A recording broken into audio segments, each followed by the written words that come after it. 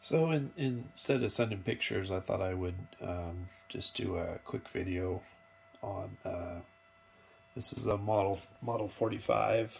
Um, sorry for the dust. Um, this one's a little different than the the Model 33 that you had in that um, it doesn't have uh, uh, like a mechanical bell on the on the back. It does have um, an hour chime which is not really a chime. It's it's kind of based off the old um, old radios when they would when they did the the time signal. Or I'll get it up to uh, to the point where it's going to change its time.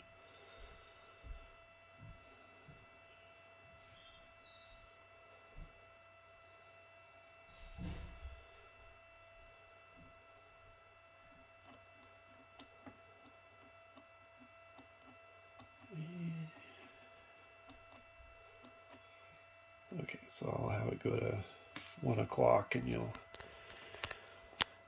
hear uh, what it does.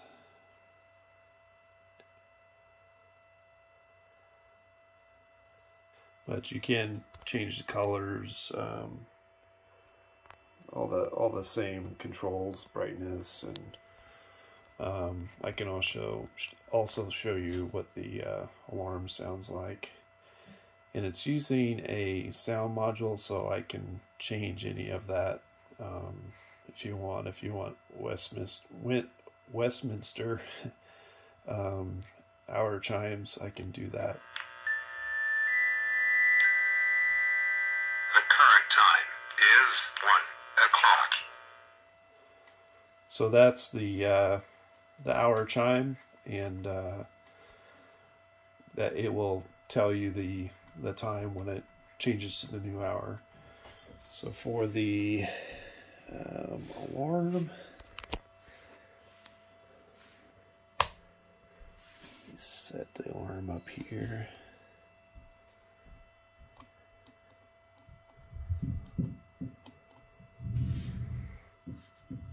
And time we right now one. Sorry, not really good at holding the camera and operating this at the same time.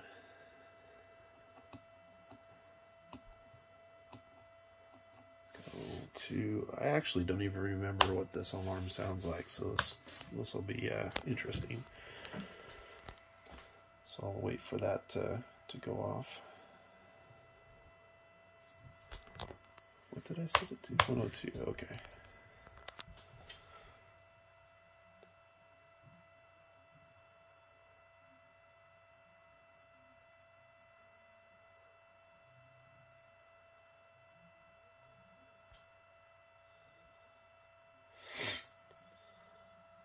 Minute seems to take forever. Um, while we're waiting, um, this does have uh, like feet on it that are like an Art Deco look to it. The uh, the tubes are all soldered. Um, kind of looks ugly, but kind of gives it that old-fashioned look also. But uh, all the power.